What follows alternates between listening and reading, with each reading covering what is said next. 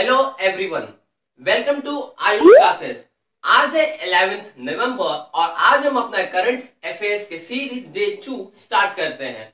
तो चलिए देखते हैं आखिर आज 11th नवंबर में क्या हुआ था। So eleventh 11th November is celebrated as the National Education Day हाँ आज ही के दिन को माना जाता है हमारे भारत के शिक्षा दिन को ऑफ़ आवर इंडिया किस लिए? आखिर ना, कोई भी देखो, कोई भी डे मनाते तो किस लिए हम मनाते हैं? तो हमारा नेशनल एजुकेशन डे मनाने का मेन मोटिव है the birth anniversary of Maulana Abul Kalam. किसके लिए? ऑफ़ मौलाना अबुल कलाम, जो बॉर्न कब हुए थे? ऑन 11 नवंबर 1888 में। इसलिए इस दिन को हम मनाते हैं, इनको याद रखने के लिए। और कहाँ से वो जन्म लिए थे?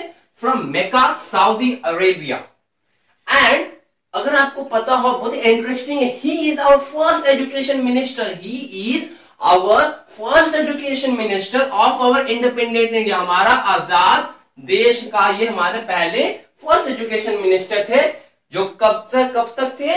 Sir from 15 August 1947 to second February 1958 मतलब बहुत ही अच्छे समय तक ये हमारे भारत देश में फ़र्स्ट एजुकेशन प्राइम मिनिस्टर का रोल निभाया तो, तो चलिए अब हम स्टार्ट करते हैं हमारे आज के लेटेस्ट करेंट अफेयर्स के क्वेश्चन तो हमारा पहला क्वेश्चन है who is going to be the chairperson of commission of air quality management and where तो कौन हमारे वायु गुणवत्ता प्रबंधन और कहा के कमीशन के अध्यक्ष बनने जा रहे हैं? क्या किसी को आइडिया है? ये भी जस्ट रिसेंट दस तारीख को ही हुआ है। So who is become to तो हमारे है M M Kutty.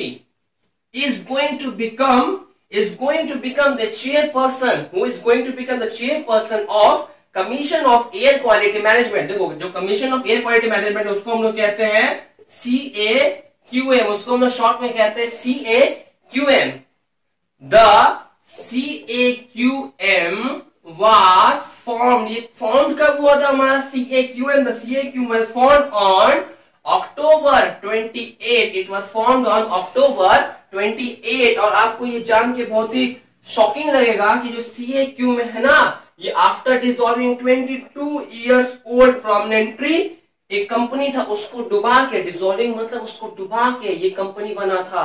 और उस उसका नाम क्या है पता है? उसको हम लोग कहते हैं E P C A EPC का फुल फॉर्म क्या हुआ हमारा? Environment pollution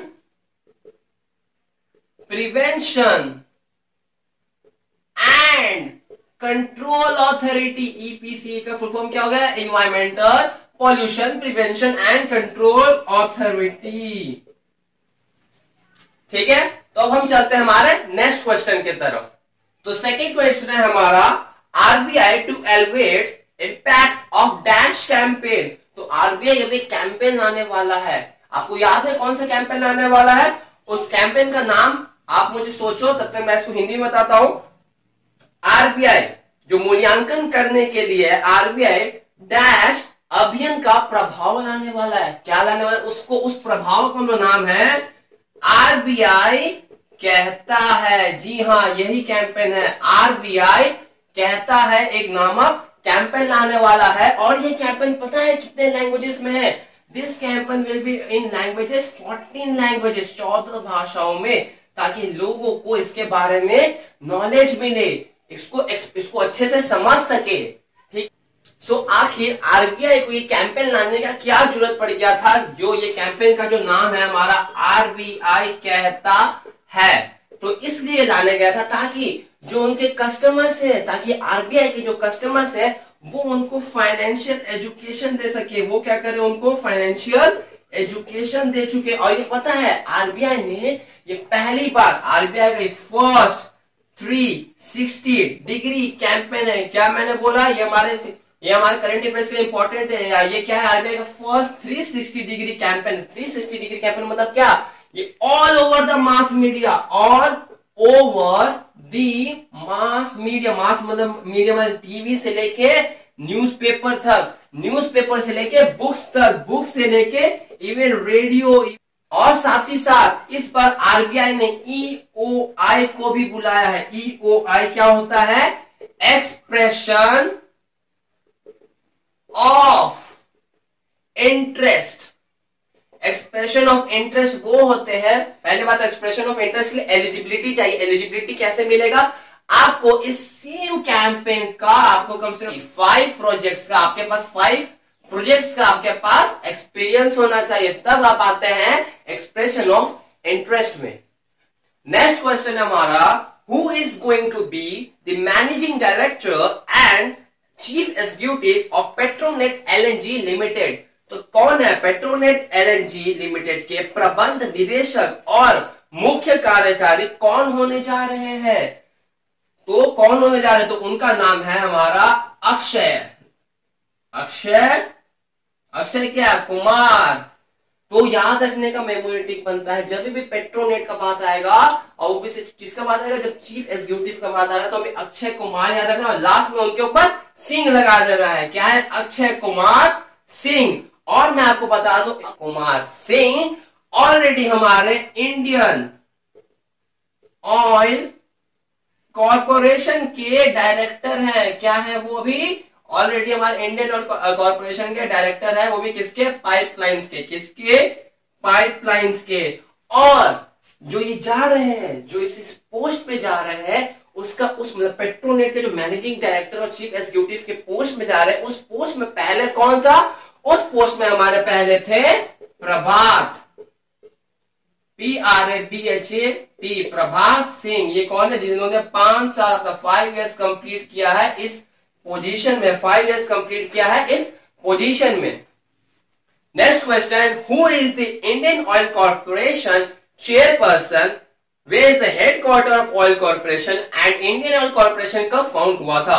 भारतीय तेल निगम इंडियन ऑयल कॉर्पोरेशन हिंदी में क्या बोलते हैं? भारतीय तेल निगम के अध्यक्ष कौन है? मतलब चेयरपर्सन कौन है? मुख्यालय कहाँ है? हेडक्वार्टर्स कहाँ है? एंड फाउंड कब हुआ था? स्थापित कब हुआ था? So who is the chairperson of IOC Indian oil corporation so he is Shrikant Madhav Vaidya तो कौन है हमारे? आईओसी के श्रीकांत, माधव, वैद्य। कौन है ये हमारे? ये हमारे चेयरपर्सन। ये कौन है हमारे? चेयरपर्सन। अब हमारे आईओसी के हेडक्वार्टर कहाँ है हमारा? आईओसी का हमारा हेडक्वार्टर कहाँ है? आरबीआई का कहा था? मुंबई, महाराष्ट्र में। तो हमारे आईओसी का कहाँ पर है? वो है नई दिल्ली में। वेयर? कहा? न्यू दिल्ली। और हमारा आईओसी कब फाउंड हुआ था? When on which year the IOC is founded क्या किसी को याद है? When were the IOC on which date founded the IOC was founded on thirty July July thirty June 1959 on which year? 13th June 1959 next question. Who author wins the JCB prize for the literature किस लेखक ने साहित्य के लिए JCB पुरस्कार जीता? सो so, कौन लेखक थे जिन्होंने ये जीता? तो मैं बताता हूँ ही वे वो कौन थे? मलयालम ऑथर थे। वो कौन थे? मलयालम ऑथर थे। और मलयालम ऑथर का नाम क्या था मालूम है? एश हरीश। मैं हरीश के जगह मैं नरीश लिख रहा था। एश हरीश। क्या नाम है? एश हरीश जिसने जेसीबी प्राइज जीता है। तो ये जेसीबी प्राइस क्या है?